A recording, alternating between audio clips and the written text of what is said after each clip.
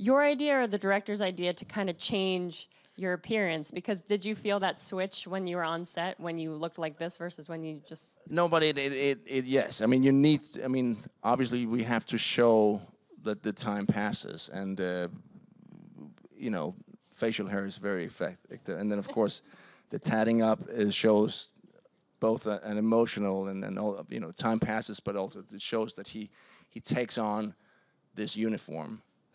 Because you know, I was asking about uh, on the on the on his back it says uh, white pride, and and we had a lot of discussion about this because I was like, because he had to join up with the gang. The white gangs are white supremacist gangs, Aryan Brotherhood.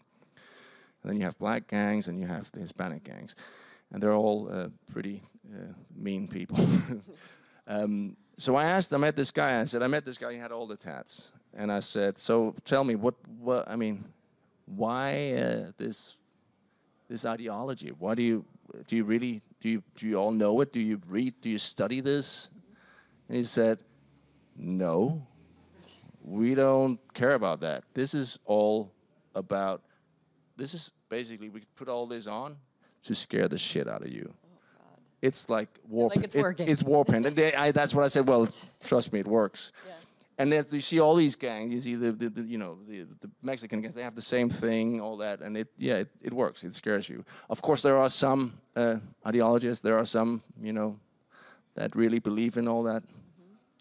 This bullshit, but um, but that's not what where he came. From. That's not what he, he's about.